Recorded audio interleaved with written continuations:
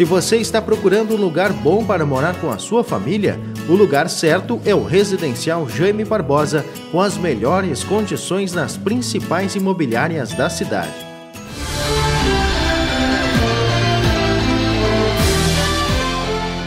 Segundo informações, um cronograma que foi confirmado pela Agência Nacional de Telecomunicações, a Anatel, diz que a partir do dia 6 de novembro de 2016, o Rio Grande do Sul irá adotar o nono dígito em telefones celulares.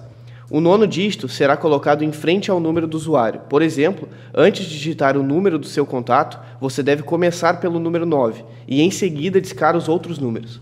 A Anatel também afirmou que, por fatores de adaptação, os usuários com chips de 8 dígitos receberão mensagens com orientações sobre o novo formato e poderão continuar realizando ligações por um pequeno período de tempo. Segundo a agência, o novo dígito foi acrescentado para aumentar a disponibilidade de números de telefones no estado.